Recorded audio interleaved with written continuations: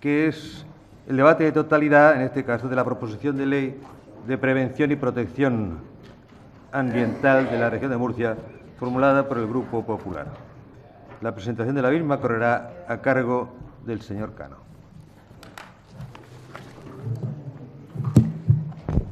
Gracias, señor presidente. Quiero saludar, saludar en primer lugar a los miembros del Consejo de Gobierno que nos acompañan, especialmente a los dos nuevos consejeros que esta mañana han tomado posesión de su cargo, el nuevo consejero de Economía y Hacienda, el señor Martínez de Salas, y la nueva consejera de Agricultura, Agua y Medio Ambiente. Sed bienvenidos a esta Cámara, mucho ánimo y mis mejores deseos en, esta nueva etapa, que además para ello vaya a contar con el apoyo del Grupo Parlamentario Popular. Quiero también saludar eh, a cuantos nos acompañan hoy en la Cámara. Y, en primer lugar, agradecer a todas las personas que han trabajado en la elaboración de esta proposición de ley. A la directora general de Medio Ambiente, Encarna Molina, al subdirector general Antonio Navarro, a los técnicos Manolo Gil y Juan Madrigal, a todos los técnicos de la Dirección General de Medio Ambiente, a todas las organizaciones, instituciones, colegios profesionales, CROEN, organizaciones agrarias, Federación de Municipios, ayuntamientos y técnicos municipales, y a todos cuantos habéis trabajado en aportaciones a esta proposición de ley de prevención y protección ambiental. A todos, muchísimas gracias. Y de manera muy especial, quiero agradecer la labor, su entrega y el gran trabajo que ha realizado durante muchos años al frente de esta consejería, quien hasta ayer fue su titular, Antonio Cerdá.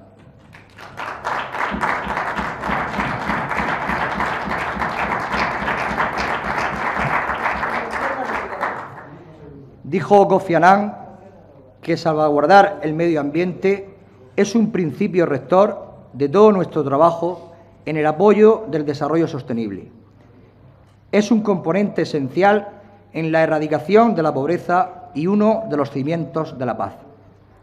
Señorías, esta proposición de ley que hoy trae a la Cámara el Grupo Parlamentario Popular responde a un compromiso político del Partido Popular con la sociedad murciana. Señoras y señores diputados, en una situación como la actual, en la que se están encarando profundas, reformas estructurales que permitan la reactivación de nuestra economía y la generación de empleo, resulta indispensable la reforma urgente de ciertos aspectos de nuestra legislación ambiental que contribuyan a lograr ese objetivo sin merma del principio de protección. La reforma que acometerá esta proposición de ley estará orientada a la simplificación administrativa, eliminando aquellos mecanismos de intervención que imponen demoras difíciles de soportar para los ciudadanos y dificultades de gestión para las administraciones públicas. La simplificación y agilización administrativa de las normas ambientales que se promueve, además de ser necesaria en sí misma, resulta un medio idóneo para acompañar a la reforma que el Gobierno ha puesto en marcha. Esta reforma parte del presupuesto del establecimiento de reglas claras y sencillas que protejan el medio ambiente y fomenten un desarrollo compatible e integrado en él. El medio ambiente ha de ser visto como una oportunidad y no como una limitación al desarrollo empresarial, propiciando un uso más eficiente de los recursos naturales. Además de responder a una demanda de los operadores económicos y sociales, son dos, fundamentalmente, los objetivos a los que responde esta proposición de ley. En primer lugar, la adaptación a la numerosa normativa comunitaria y estatal básica que se ha aprobado con posterioridad a la entrada en vigor de la Ley 4-2009. Y en segundo lugar, la reducción de cargas administrativas a través de una mayor simplificación en los procedimientos y trámites medioambientales, sustituyendo un régimen de intervención ex ante a través de las licencias de actividad por un régimen de control ex a través de la comunicación ambiental.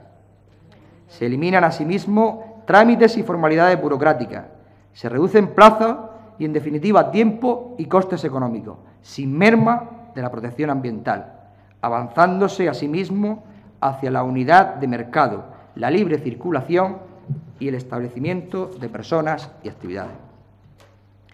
Señorías, esta proposición de ley también ha simplificado sus artículos, Se ha hecho un gran esfuerzo de síntesis en la redacción del texto, evitando así redundancias innecesarias con la normativa estatal. Consta de 112 artículos, 10 disposiciones adicionales, 6 disposiciones transitorias y una disposición derogatoria, 5 disposiciones finales y dos anexos. Se reduce, por tanto, en una tercera parte la extensión de la misma en su articulado. Como principales novedades de la ley, destacaremos, en primer lugar, que se establece un nuevo régimen de intervención administrativa ambiental, basado en los siguientes instrumentos. Autorización ambiental integrada, solo para las actividades sometidas a ella por la legislación básica estatal, con carácter general y de conformidad con la legislación estatal, se integra en el procedimiento de tramitación de licencia de actividad y, a diferencia de la Ley 4-2009, ya no será necesario el acto formal de la que el Ayuntamiento no emita en, el, en plazo el informe sobre sus competencias. En este caso es excepcional y para evitar retrasos, la Administración regional resolverá sobre la autorización ambiental y el Ayuntamiento dictará la licencia de actividad. Plazo de dos meses y silencio positivo. Autorización ambiental simplificada. La experiencia de estos años aconseja separar, sin perjuicio de la simultaneidad en su tramitación, las, autorizaciones sectoriales que siguen unificadas para una mayor simplificación y agilidad en su tramitación. Y, por otra parte, la licencia de actividad en el ámbito de competencia municipal. Licencia de actividad para los supuestos aludidos anteriormente y para algunos espectáculos públicos, en tanto se apruebe la ley, reguladora de espectáculos públicos y actividades recreativas de la región de Murcia, aunque la regla general es la comunicación ambiental. Comunicación ambiental. Para las actividades no sometidas a autorización ambiental autonómica ni a licencia de actividad. Nos estamos refiriendo, señorías, a lo que supone más del 90% de la actividad económica, que en su mayoría se sometía con la Ley 4-2009 al régimen de licencia de actividad e informe de calificación ambiental con un plazo de resolución de seis meses. La comunicación producirá efectos en el plazo máximo de, dos meses desde su presentación, excepto para las actividades de comercio y de servicio en que rige el efecto inmediato, licencia express. Segundo, sería con esta proposición de ley la comunidad autónoma más avanzada en el impulso de la simplificación administrativa en estos trámites y procedimientos. Se trata de contribuir a la reactivación de la actividad económica de la región de Murcia, facilitando el inicio y la consolidación de la misma. Tercero, no hay en ningún caso, a diferencia de otras comunidades autónomas, licencias de inicio de actividad, optándose por las comunicaciones previas al inicio de la explotación. Cuarto, se suprime dentro de los procedimientos de autorización ambiental autonómica el trámite de comunicación vecinal. Quinto, se establece la obligación de llevar a cabo preferentemente la tramitación electrónica en los procedimientos ambientales.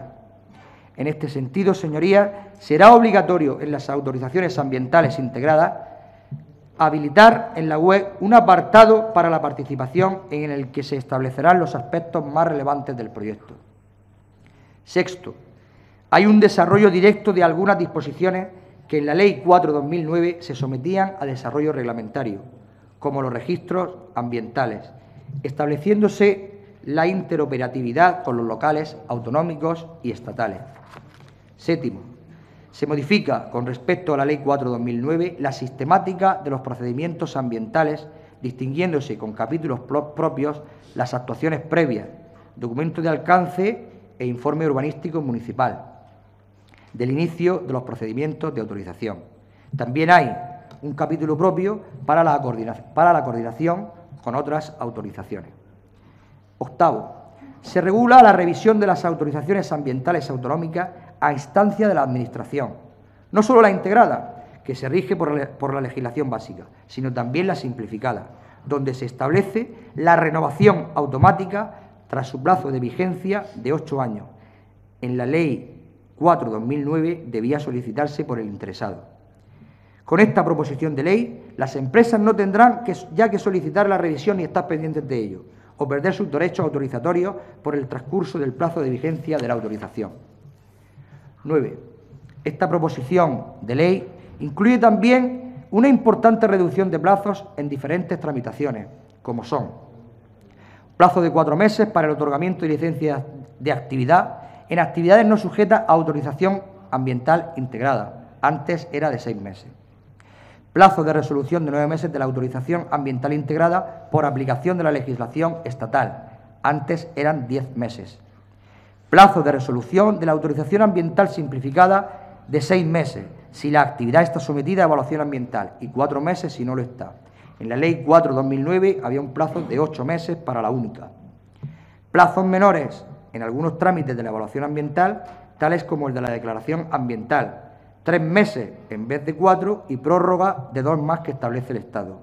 El plazo de consulta en el procedimiento de evaluación ambiental estratégica ordinaria, 30 días en vez de 45 que señala la legislación estatal. Y el de emisión del informe ambiental estratégico, tres meses en vez de cuatro que regula el Estado. O el de la declaración ambiental estratégica, tres meses en vez de cuatro, más dos prorrogables, que, elija la que, que fija la legislación ambiental del Estado. El informe del Ayuntamiento sobre sus competencias pasa de tres meses que establecía la Ley 4-2009 a 30 días. Décimo, incorporación del documento de alcance como potestativo en el procedimiento de evaluación ambiental de proyectos como consecuencia, en este caso, de la regulación básica. Se reduce el plazo de tres meses que establecía a este efecto la anterior ley. Un décimo, convergencia con la legislación estatal en los supuestos sometidos a evaluación ambiental de planes, programas y proyectos. Tu décimo, mayor concreción de los diferentes ámbitos competenciales de las administraciones que intervienen en los diferentes procedimientos de intervención administrativa ambiental. Décimo tercero, agilización de los procedimientos de modificación sustancial de las instalaciones o actividades. Decimocuarto, adaptación al régimen de infracciones y sanciones a los nuevos instrumentos de intervención administrativa ambiental. Es decir, que habrán importantes reducciones del importe de las sanciones en materia de licencias de actividad y comunicación ambiental con respecto a la Ley 4-2009. En cuanto a las disposiciones adicionales se refiere, se regulan 10 con la siguiente finalidad. La primera regulará el nivel legal a nivel legal el Consejo Asesor Regional de Medio Ambiente.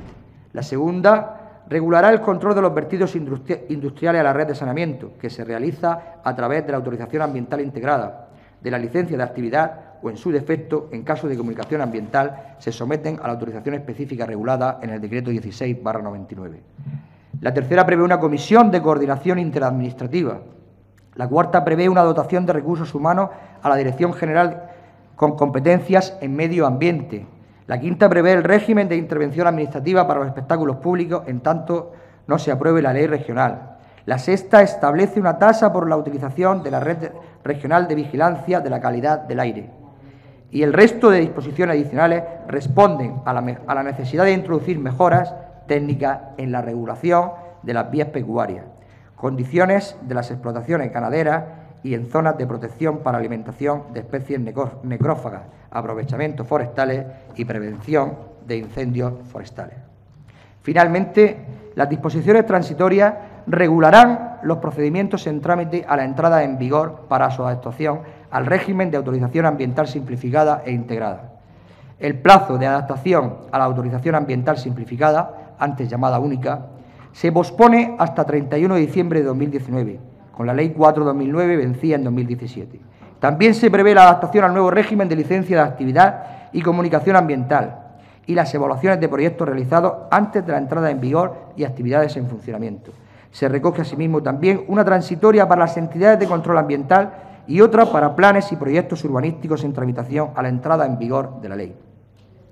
En definitiva, señorías, quiero dejar patente que, como decía al principio de mi intervención, el Grupo Parlamentario Popular presenta esta proposición de ley porque es un compromiso del Partido Popular con la sociedad murciana, porque es una ley buena y una ley necesaria.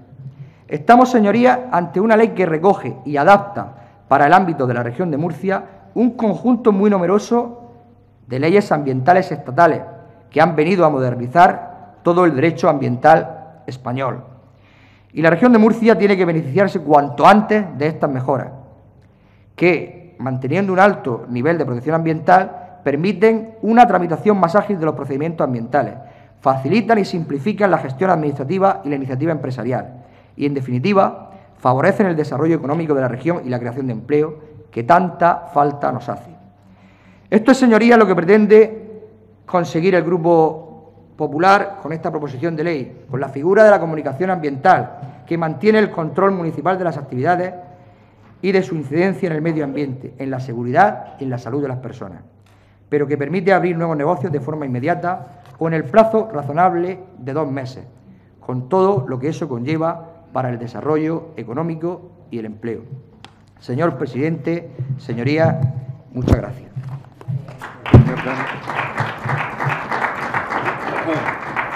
Turno de presentación de la enmienda de totalidad formulada por el Grupo Parlamentario Socialista. Tiene la palabra el señor Avellán.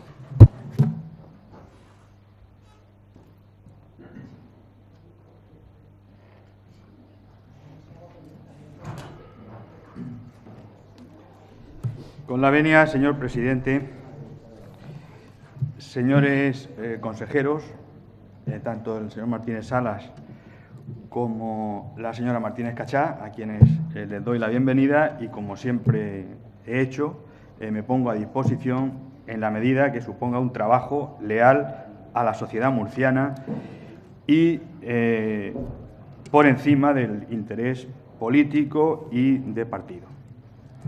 Quien me conoce sabe que yo no soy muy dado a empezar las intervenciones con frases ni con citas, pero en esta ocasión sí mm, quiero empezar eh, la intervención con dos frases. Una atribuida a un historiador y político del siglo XIX, el Lord Acton, muy conocida por todos, que dice que el poder tiende a corromper y el poder absoluto corrompe absolutamente. Pero también hay otra del profesor Tierno Galván que viene a decir que las mayorías absolutas son como una bomba. Si no las sabes utilizar, te explotan en tu propia mano. Y evidentemente esto no lo digo caprichosamente, lo digo porque en el argumentario que me he elaborado para esta intervención viene muy al pelo. Y es verdad que quien todo lo quiere, al final todo lo pierde. ¿Y por qué digo esto? Porque hoy debatimos una proposición de ley, proposición de ley, cuyo objeto es regular la intervención administrativa aplicable a planes, programas, proyectos y actividades que pretendan desarrollarse en el ámbito de la comunidad autónoma de la región de Murcia. Una ley que deroga una importante ley aprobada en esta Cámara en el año 2009, la 4-2009 de 14 de mayo, de protección ambiental integrada, y además deroga tres artículos, el 3, 4 y 5, de la Ley 8-2014 de 21 de noviembre, prácticamente mm, hace menos de tres meses que se aprobó, de medidas tributarias y de simplificación administrativa. Esta reforma se, se pretende hacer, como digo, mediante proposición de ley, en lugar de hacerse como proyecto de ley. Claro, la diferencia es clara, pero es que la diferencia también es muy ventajosa para los intereses del Partido Popular y del Grupo Parlamentario Popular. Me explico. Si la iniciativa se hubiera traído como proyecto de ley, vendría acompañada con la documentación que exige el artículo 118 y 119 del reglamento, justificando las razones, motivos, causas y determinación detrás de esa ley. El proyecto traería el informe del Consejo Jurídico de la Región de Murcia, el informe del Consejo Económico y Social, traería la participación de los municipios legítimamente representados en la Federación de Municipios, traería la opinión de los colegios profesionales que intervienen, del propio Consejo Asesor Regional de la Región de Murcia, es decir, de la sociedad murciana y de su implicación participativa en la región de Murcia.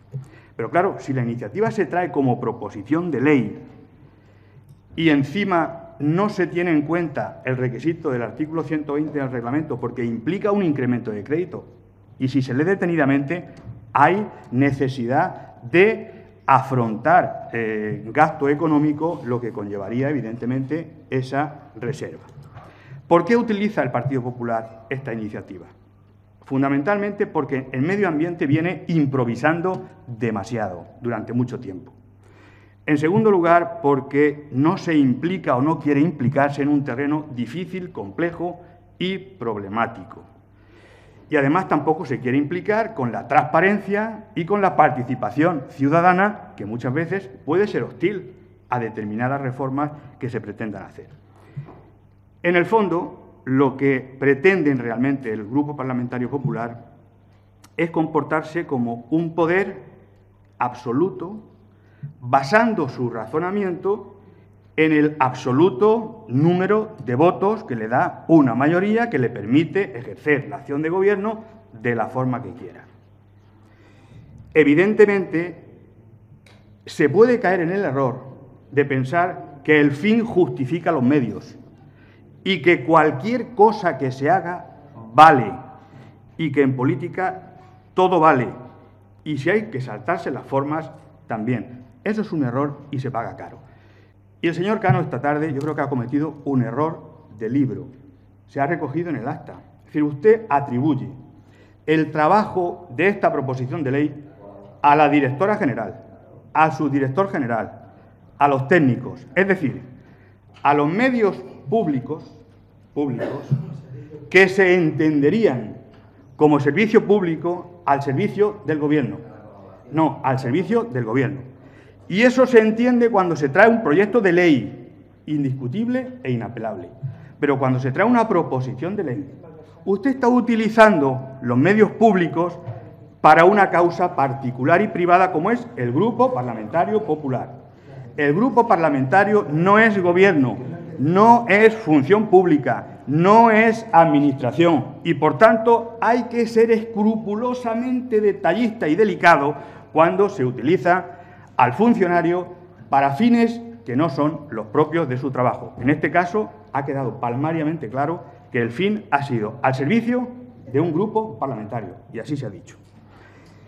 Y yo creo que esto al final les va a costar un alto precio, les va a costar un alto precio porque están confundiendo lo que es la teoría de la separación de poderes con lo que entienden que para ustedes es la separación de poderes cuando hay mayoría absoluta. El legislativo y el, ejecutivo tienen su propia función, pero ustedes están inventando un nuevo poder, que es el legislativo. Es decir, el poder legislativo. ¿Qué significa? Significa el poder sumiso del legislativo a los mandatos, las órdenes y las indicaciones del Ejecutivo para que sean instrumento de intereses para agilizar los trámites parlamentarios. Eso, desde el punto de vista de quien les habla, es un fraude al sistema, es una utilización torticera de la democracia y al final eso tendrá un coste político irreversible e irreparable. Porque, señorías, han sido muchas las intervenciones que yo he oído a lo largo de estos cuatro años donde se ha dicho, ya, pero es que ustedes, los socialistas, después de cada cuatro años, no le han dado la confianza al pueblo. Bueno, ¿y eso les legitima para que su mayoría absoluta sea un cheque en blanco para hacer lo que quieran? El sometimiento al Estado de Derecho, a la ley y al principio de legalidad no vale para las mayorías absolutas. Bien, ahí lo dejo. Ahí lo dejo.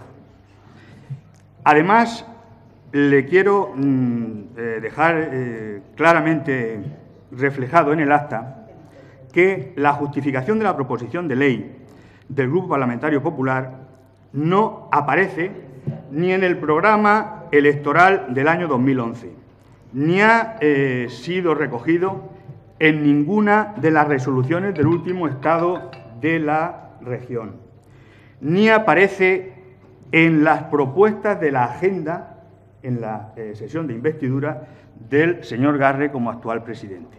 Por tanto, la, la improvisación viene porque en el horizonte político de gestión no existía esta necesidad. Esta necesidad realmente, señorías, obedece, obedece además del cambio legislativo que se ha producido evidentemente en Europa, a una necesidad de determinados lobbies que les interesa y presionan para cumplir determinados objetivos. Pero, señorías, si nos vamos a Valencia o Aragón, que sí que hay ley, han tardado más de un año en hacer este trabajo contemplando las reformas europeas. En Valencia se aprobó la Ley 6-2014 el 25 de julio de Prevención y Calidad y Control Ambiental y en Aragón la Ley 11 de 4 de diciembre. Leyes que llevaban todos los informes, que se hizo una ponencia, que se contó con todo el mundo y se tardó, ya digo, casi nueve meses en su tramitación. Pero lo triste después de leer detenidamente tanto la ley de, Valencia como la de Aragón y la nuestra, es que se han olvidado encima de lo más importante.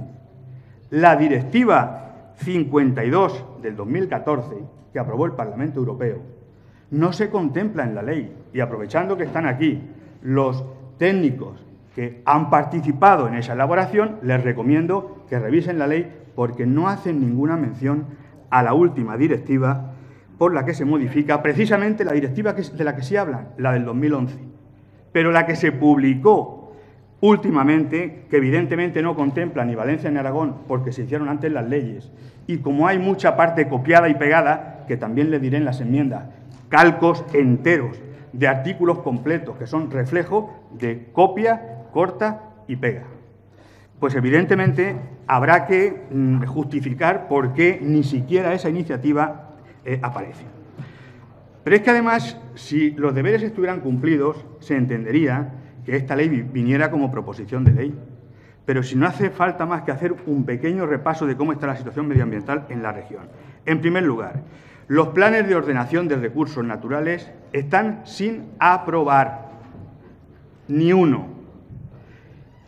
La Directiva General de Medio Ambiente, que distribuyó los LIC y la zona CEPA, lo hizo atribuyendo 14 zonas de planificación. No se ha aprobado ni siquiera la del noroeste, que es la más eh, adelantada. No hay plan de ordenación de actividades extractivas. No hay ley de responsabilidad ambiental de las empresas. Está sin aprobar el Plan Regional de Calidad del Aire.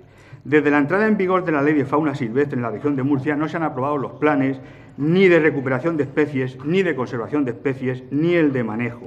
Además, en la región de Murcia se carece de los planes de implantación de las energías renovables, generando un verdadero caos e ineficiencia.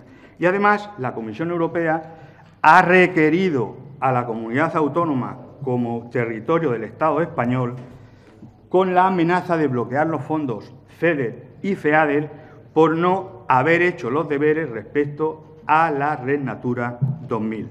Por tanto, señorías, las prisas, la necesidad de hacer esta ley, cuando no tenemos prisa en absoluto para nada, poniendo orden al caos medioambiental que existe en la región de Murcia, pues evidentemente cuesta entender. Y lo digo desde el punto de vista de querer que se me dé una explicación buscando la verdad de por qué viene esto ahora, a falta de dos semanas para que se disuelvan las cámaras, cuando realmente hay 20.000 cosas pendientes de hacer. Algo debe haber y en mi derecho estoy eh, de pensarlo. Que se diga que esto va a crear empleo, respetar al máximo el medio ambiente y que esto va a ser una dinamización de la economía, eh, señoría, también se decía en el año 2009, cuando se aprobó la, la, ley anterior, se decía lo mismo, y estamos en el mismo sitio, ni creación de empleo, ni nada de nada, porque las cosas no funcionan a través de papeles ni a través de eh, artículos mejor o peor redactados. Por todo esto, señorías, eh, ¿Cuáles son las poderosas razones que nos llevan a presentar esta enmienda de no al lugar a deliberar? En primer lugar, porque consideramos que no es procedente adaptar el ordenamiento jurídico regional a las modificaciones legislativas, máxime cuando se deja la más importante, que es la última, y la pueden leer porque se publicó en el boletín, eh, en el diario oficial de, la, de la, Unión Europea, y convendrán conmigo que hay cosas que deben de ser tenidas en cuenta. En segundo lugar, porque lisa y llanamente consideramos que es una iniciativa propiamente electoral que viene a satisfacer los intereses de determinados colectivos o lobbies.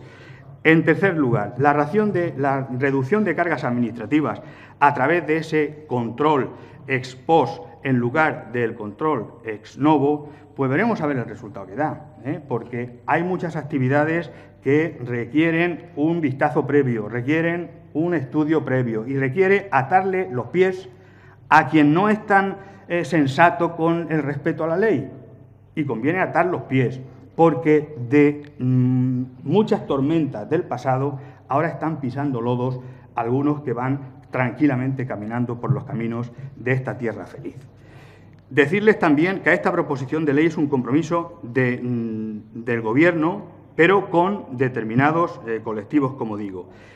Es una copia de la ley de Aragón y de Valencia en, en casi el 60 o el 70% y no se ha tenido en cuenta la Directiva 52. Y para terminar, una de las cosas que eh, mayor preocupan. Todo lo que se pretende hacer requiere más medios personales y más medios económicos. Y señora consejera, aprovechando que está aquí, el medio ambiente yo creo que a usted le encanta tanto o más que a mí porque hemos tenido ocasión de compartir durante muchísimos años actividad en los ayuntamientos, en la Federación de Municipios y además en el tema de medio ambiente.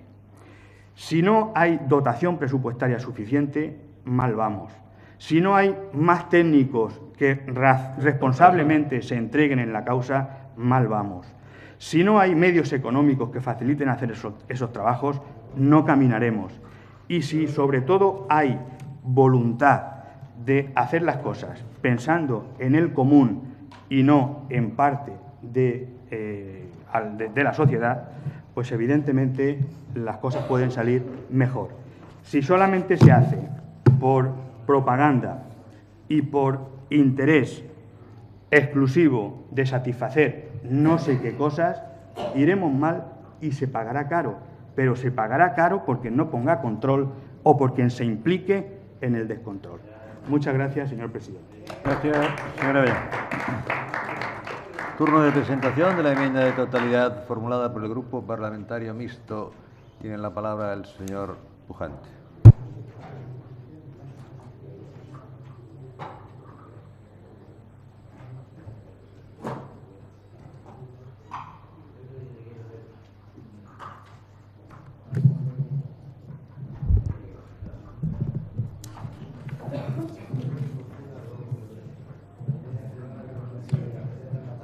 Vaya trajín que hay esta tarde aquí en la, en la Asamblea Regional por parte del, del Gobierno y algunos diputados. Vaya trajín. Vamos a ver. Señor, señor Martínez, tengamos la fiesta en paz. Vaya trajín, vaya trajín. Bien, en ese trajín el señor Bernabé pues ha echado su parrafazo y ha dado, y ha dado la espantada. Es curioso, es curioso. Ha hablado y se ha explayado además como si se hubiese presentado un proyecto de ley. Yo no sé si sabe la diferencia entre lo que es un proyecto de ley, lo que es una proposición de ley y la nueva fórmula, la nueva fórmula poco usada, por cierto, que es la fórmula del decreto ley, que en cierto modo se, se habilitó y se aprobó precisamente para evitar que se utilizara al Grupo Parlamentario Popular como recurso, como subterfugio, como, en fin, como, como barrendero para quitar lo que, lo que el gobierno del Partido Popular no, no pretende hacer no quiere hacer de manera, de manera explícita. Hacen ustedes uso y abuso no de la mayoría absoluta, de una mayoría absolutista. Y desde luego dejan, dejan al pobre Montesquieu y a su espíritu de las leyes temblando con, ese, con esos procedimientos que vienen llevando a cabo. Una proposición de ley de protección ambiental. Luego vamos a debatir otra proposición de ley de regulación del transporte en la región de Murcia. Está pendiente la regulación, el debate también de otra proposición de ley hartamente compleja, como es la ley del suelo. Proposiciones de ley, proposiciones de ley que el Grupo Parlamentario Popular pues lleva seguro que años trabajando eh, y, realizando un trabajo ímprobo para la elaboración de dichas de dicha proposición de ley. Y sin embargo, el gobierno del Partido Popular se ve que porque está en, otros menesteres, se les hacen cargos de menor enjundia, porque se va a debatir un proyecto de ley que acaba de entrar, atención, proyecto de ley de animales de compañía. Un proyecto de ley que cuenta con el informe del Consejo Jurídico, que cuenta con el informe del Consejo Económico y Social. Esos son los menesteres, las labores a las que se dedica el Gobierno del Partido Popular. Y el Grupo Parlamentario de la Oposición se dedica a otros menesteres, como las proposiciones de ley de, de enjundia, complejas, como la ley del suelo, como la ley de protección ambiental, como la ley de ordenación del transporte. Es curioso, es curiosa la, vulneración del más mínimo sentido democrático que viene realizando en su deriva, en su deriva hacia el naufragio el Partido Popular. Pero en fin, allá ustedes y las consecuencias que sin duda alguna tienen esas medidas que ustedes están adoptando. Una ley o una proposición de ley de esta naturaleza, además les traiciona, no es la primera vez que les ha traicionado en su, en, su, intervención cuando hace referencia a que gracias a la colaboración, al trabajo de la consejería correspondiente, no sabemos si luego posteriormente se caerá en la misma trampa y se hará referencia también en el caso del transporte a la colaboración y el trabajo de, transporte. En el caso de, de, la ley de vivienda también pues ha quedado patente, claro y notorio que el consejero y la consejería pues tenía bastante que ver en esa, en esa proposición de ley. Lo que está claro es que ningún grupo de parlamentarios, salvo el Grupo Parlamentario Popular, puede disponer eh, de, funcionarios públicos para la elaboración, para la elaboración de proposiciones de, de proposiciones de ley. ¿no? Y aparte, no, no debe, no debe, es que lo fundamental no es que no pueda, que no pueda, es que no debe, no debe utilizar funcionarios públicos, funcionarios públicos para realizar labores que evidentemente que no repliquen desde los escaños. Que evidentemente de haber sido así el Grupo Parlamentario Popular no podría haber realizado esa proposición de ley, pero es que además lo ha reconocido. Yo, pues aquí sí que yo sí que plantearía, desde luego, eh, haría un planteamiento sobre, y sí que apelo en este sentido, pues a quien corresponde, lo, dejo, lo quiero dejar aquí bien claro, sobre ese uso torticero que se hace eh, del reglamento y de, la ley para presentar proposiciones de ley que en el fondo no son ni más ni menos que proyectos de ley que han sido elaborados y que salen de la cocina de la propia consejería. Bien, indica sin duda alguna también mala conciencia. Cuando no se tiene la valentía de presentar un proyecto de ley y se utiliza el subterfugio del Grupo Parlamentario Popular, se demuestra mala conciencia. Se demuestra mala conciencia. Se demuestra además, se demuestra además que, presumiblemente gran parte de los artículos que se plantean pues sean de dudosa legalidad. Sean de dudosa legalidad y si no, habrían sido sometidos al criterio, al mejor criterio del Consejo Jurídico y también con mejor criterio también y las aportaciones que se podrían derivar del Consejo Económico y Social y de otros, y de otros órganos que participan en la conformación, en definitiva, de pues, un resultado muchísimo más elaborado y más perfilado que sería precisamente el proyecto de ley. Y esto es una tomadura de pelo. Esto es una tomadura de pelo la que ustedes están realizando en esta Cámara durante este último mes. Una auténtica tomadura de pelo. Están tomando a este Parlamento por el pito del sereno con esta batería de proposiciones de ley que están presentando sin que vengan acompañadas de los correspondientes informes. Ni siquiera, ni siquiera plantean la fórmula del decreto ley que podrían haber utilizado, podrían haberla utilizado si el argumento, el criterio era la urgencia y con posterioridad haberlo convalidado aquí en el Parlamento con las correspondientes con las correspondientes enmiendas, pero ni siquiera se, utiliza ni siquiera ese recurso y se utiliza el recurso de la proposición de la proposición de ley. Una proposición de ley que efectivamente responde a intereses concretos, a los intereses de determinados lobbies económicos de la región de Murcia que lo que quieren es aplicar la desregulación, la eliminación de obstáculos, trabas, porque siempre se ha concebido por el Partido Popular, siempre se ha concebido por el Partido Popular el medio ambiente como una traba, como un impedimento, como un obstáculo, como un incordio.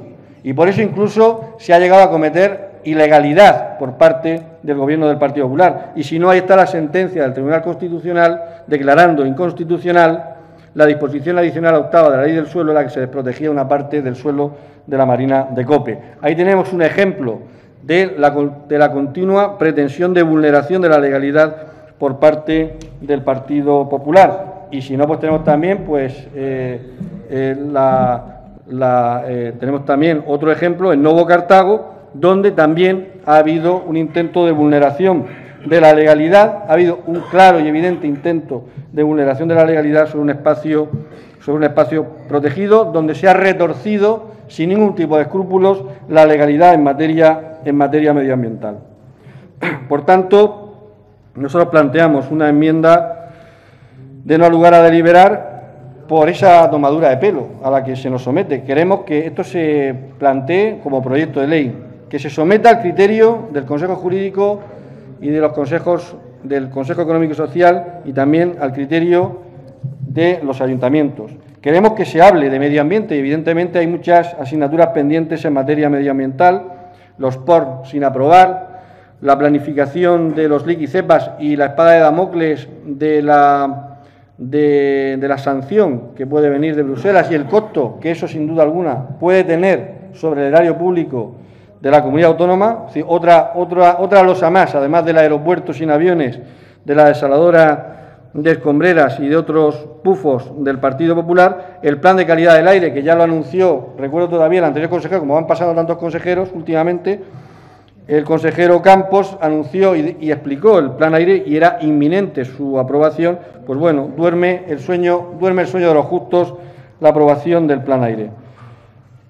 Y bueno, y otro ejemplo también de tomadura de pelo es que ni siquiera, eso pone de manifiesto que, en fin, que, aquí al final se impone el criterio, no el criterio de la norma, no el criterio del reglamento, no el criterio del sentido común, el criterio absolutista del Partido Popular cuando, bueno, pues se utiliza discrecionalmente el artículo 120 del reglamento para según qué propuesta se aplica o no se aplica. Antes no se ha podido debatir precisamente como proposición de ley, una proposición de ley conjunta de Izquierda Unida y del PSOE sobre medio ambiente porque se le aplica el, artículo 120. Así se debate la del PSOE, la del PP, a la que no se le aplica el artículo 120. Y aquí tampoco se aplica el artículo 120. Es decir, criterio absolutista, una auténtica tomadura de pelo, es a lo que estamos asistiendo y a lo que vamos a asistir hasta que concluya el día 26 eh, esta agonía, porque esto es una demostración, en fin, nosotros pues, tendremos que salir aquí a defender nuestras posiciones, evidentemente, pero esto es un espectáculo y, la demostración de la agonía del Partido Popular. Muchas gracias.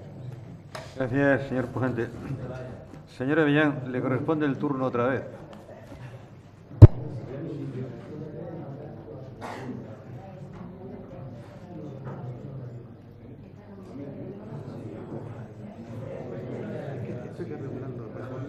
Muchas gracias, señor presidente.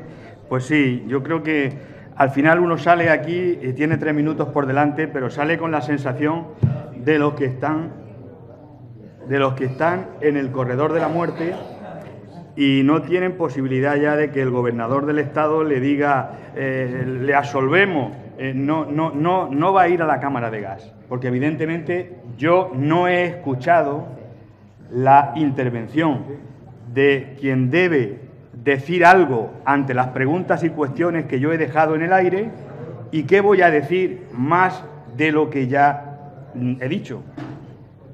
Mm, realmente en el tema poco tengo que decir. Sí es verdad que voy a aprovechar muy poco tiempo para hacer una reflexión general por lo que usted pueda decir. A mí sí me gustaría que me dejaran claro, claro, en su intervención, porque aprovechando que están aquí los eh, funcionarios de la consejería si el proyecto, de, perdón, si la proposición de ley contempla o no alguna vez en una línea de la proposición de ley la alusión a la directiva 54 eh, 52 de 2014 de, de 14 de abril. En segundo lugar, si ha sido un error o un lapsus, si hay intención, por vía de enmiendas, de introducir cuantas cosas sean eh, posibles.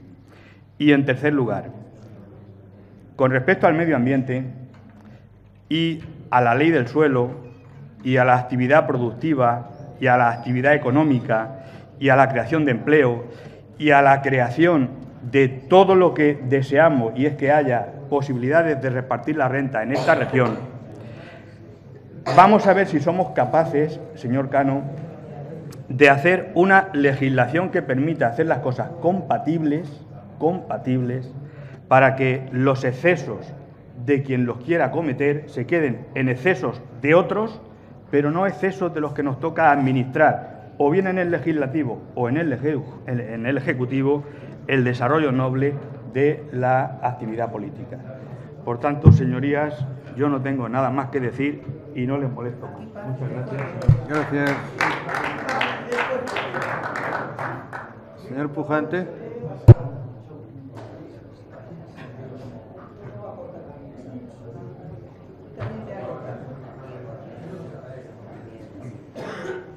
Esta es otra de las cosas absurdas de- de- del reglamento, que tenga uno que eh, aparentemente replicar a quien no ha replicado.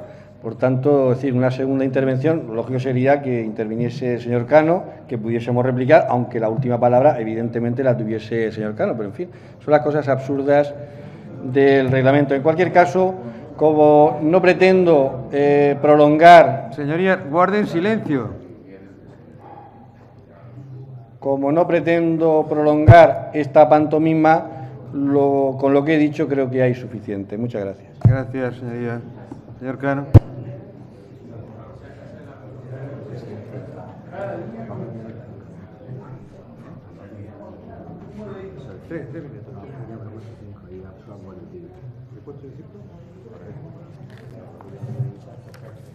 No, no ha puesto. Eh, gracias, señor presidente. Señorías, eh, señor Pujante, le voy a decir una cosa, señor de las camisetas, que tiene usted que tener una colección amplia en su armario. No, está usted últimamente muy graciosillo, pero le diré que no ofende quien puede, sino quien quiere, señor Pujante. Eso, perdón, eso, perdón, al revés, al revés, a ver, al revés se lo digo para que me, para que me entienda. Mire usted, mire usted, señoría de la oposición, que, mm, quieren hacer un cisma aquí ho- hoy. Consultar a la administración competente no es sino velar también por el cumplimiento de la ley, es decir, por contribuir a, a incorporar la experiencia. Eh, mm, vamos, eh, no es otra cosa, ellos la aplican cada día. Pero es que no he hablado solo de la administración, he hablado también de organizaciones empresariales, agrarias, eh, organizaciones, federación de municipios. En fin, si es que nos hemos reunido desde el grupo parlamentario y nos estamos reuniendo con toda esta serie de, de colectivos afectados.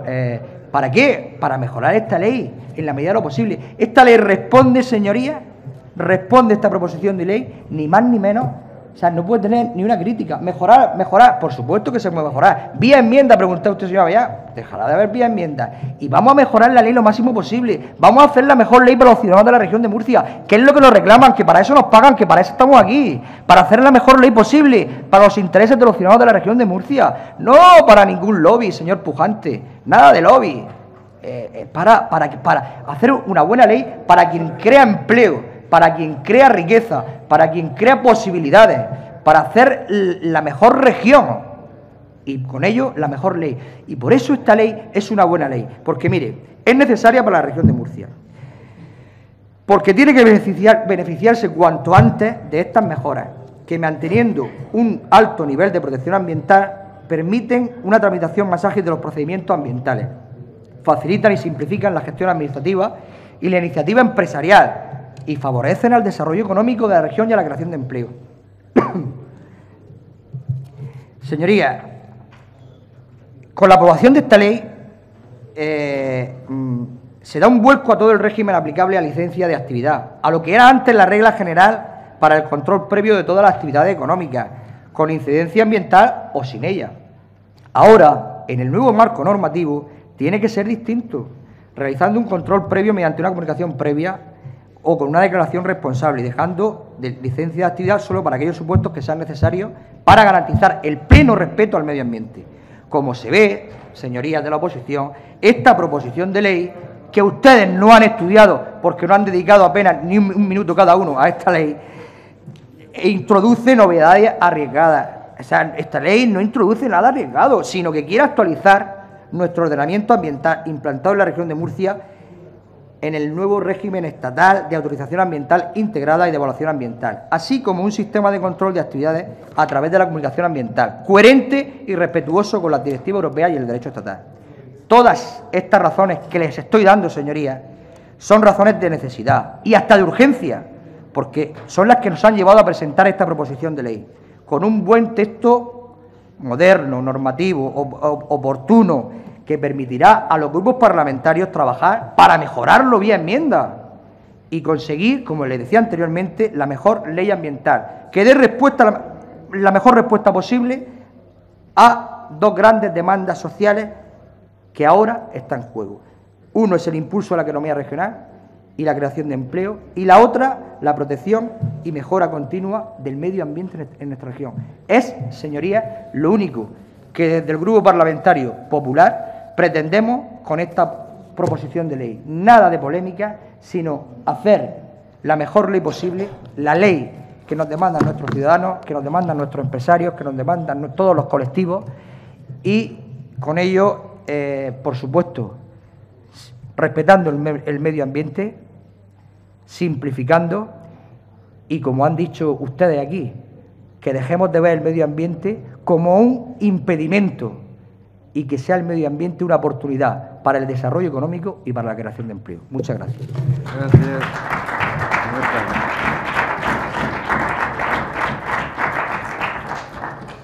Se va a someter a votación la enmienda eh, formulada por el Grupo Parlamentario Socialista.